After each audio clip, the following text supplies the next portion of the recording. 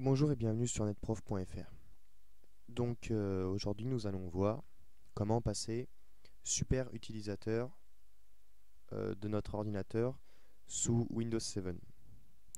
Pourquoi? Eh ben, tout simplement parce que euh, quand, nous, avons une, session créée sous Windows 7, nous ne sommes que simples administrateurs de notre session.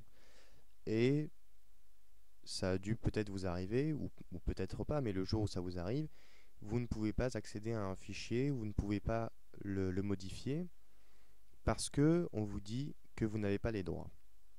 Alors en termes de sécurité, c'est pas mal.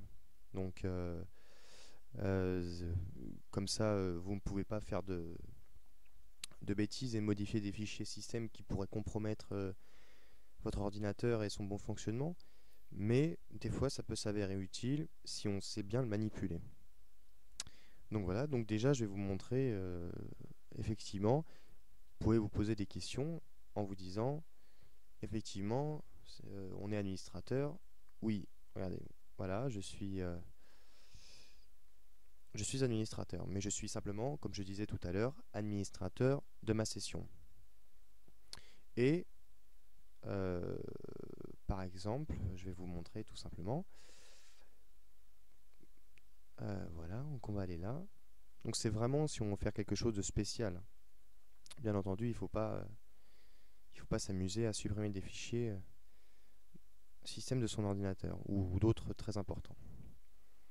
par exemple, ici, donc euh, système 32.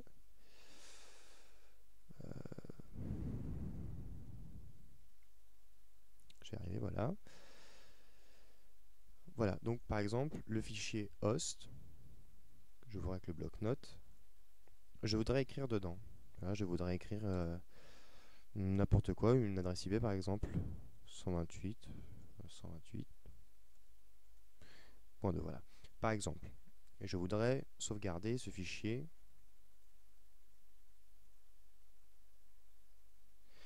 dans, euh, dans, ce dossier-là, là où host est enregistré.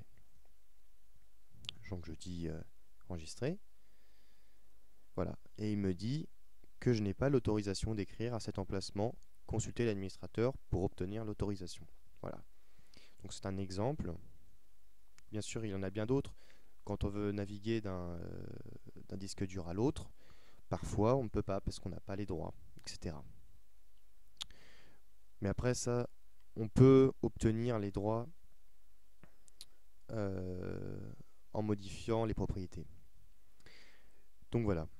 Donc maintenant, je vais vous montrer comment passer justement super utilisateur de son PC.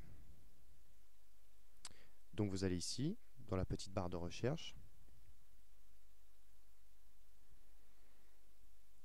Euh, vous tapez outils. Il va nous trouver tout de suite, voilà outils d'administration. Donc voilà, donc maintenant vous allez en bas, stratégie de sécurité locale. Vous double-cliquez dessus. Vous faites clic droit ouvrir, ça revient au même. Voilà. Donc une nouvelle fenêtre s'ouvre. Et là, vous cherchez ici, stratégie locale ou soit vous, pouvez faire dérouler tout simplement, ou vous pouvez double-cliquer dessus, ça reviendra au même. Vous ouvrez, voilà. Et là, vous cherchez, voilà, compte, statut du compte administrateur. Là, il est désactivé. Vous faites, si vous voulez l'activer, propriété. Et là, vous faites activer. Vous appliquez et vous faites OK. Voilà. Donc je ne pourrais pas vous le montrer. Après vous fermez ça parce que euh, évidemment il faudrait se déconnecter et ça arrêterait la vidéo sur ce cours. Donc une fois que votre euh, voilà, compte statut euh, du compte administrateur est activé, vous n'avez plus qu'à fermer la session et vous verrez apparaître au milieu votre compte et à côté le compte administrateur sans mot de passe. Donc vous pouvez l'ouvrir et, euh, et naviguer sans problème et vous aurez tous les droits. Vous serez super utilisateur.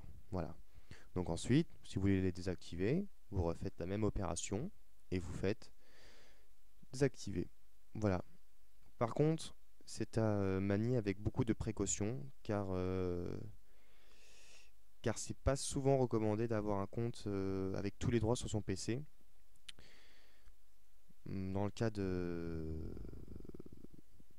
de la sécurité tout simplement, c'est c'est pas c'est pas recommandé. Donc il faut pareil encore une fois, il faut faire attention, y aller avec prudence ou s'y connaître un petit peu. Voilà. Sur ce, au revoir.